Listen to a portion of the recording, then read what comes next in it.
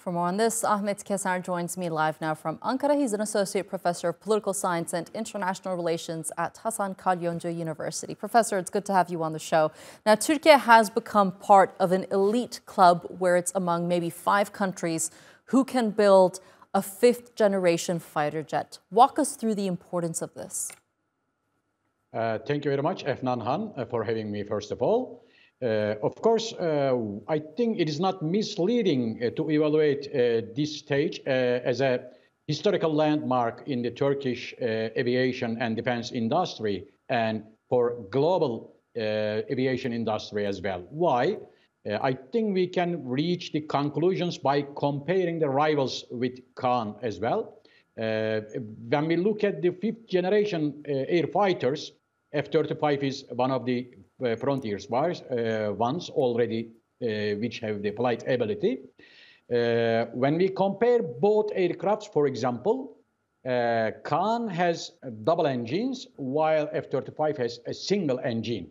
And this double engine ability brings Kaan uh, more flight range with higher altitude. For example, when we compare the two aircrafts, F-35 can reach to almost 50 to 51,000 feet height altitude, while Kaan uh, has the ability of flying uh, at the 55,000 feet altitude.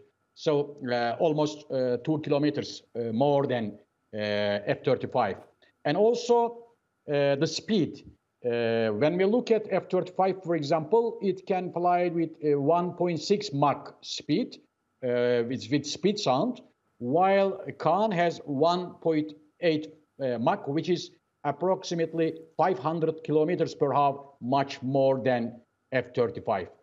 Also, the payload mm -hmm. carrying capacity, when we look at the weapon capacity, uh, F-35 uh, with two outsider and two insider weapon stations can carry approximately two tons of ammunition. Uh, I think Kaan will be able to carry three or four times more than F-35. Uh, other right. technological characteristics are similar when mm -hmm. we mm-hmm. look at uh, little or no radar signature. So invisible pl uh, planes, these are fifth generation aircrafts.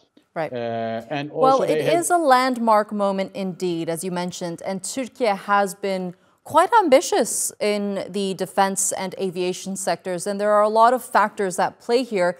But you particularly mentioned the F 35s uh, and the U.S. kind of pushing Turkey out of the F 35 program.